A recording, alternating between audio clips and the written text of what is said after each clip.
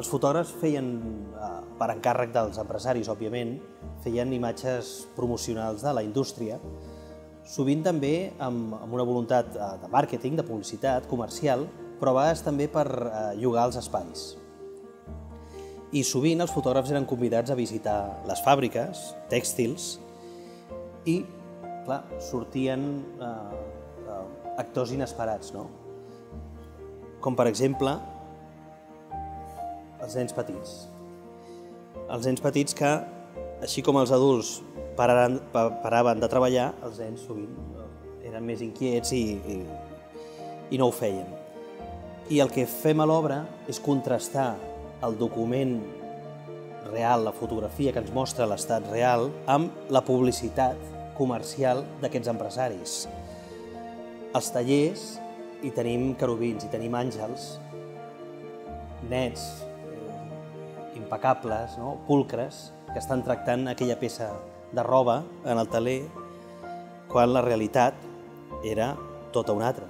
La realitat era aquesta. Eren nens descalços, bruts, amb una tristesa a les mirades. Aquesta imatge és... Aquest és... Bueno, n'hi ha molts, no? Però la mirada l'abatiment, no? La, la derrota no? d'aquest nen, fotografiat al 1912-1910, és a dir, és de la generació dels nostres, dels nostres avis, en una fàbrica tèxtil del, del Poble Nou, és, és brutal. I clar, eh, la publicitat novament et parla d'aquestes imatges no? eh, dolces, amb aquesta imatge que és molt potent, no? perquè el que mostra és l'esclavisme i el colonialisme.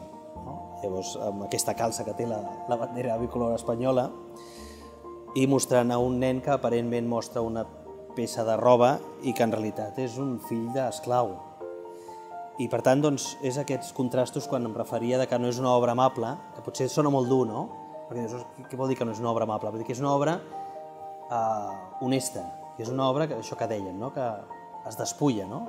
El país es despulla aquí i no, i no amaga les misèries, perquè si no, no tindria cap mena de credibilitat.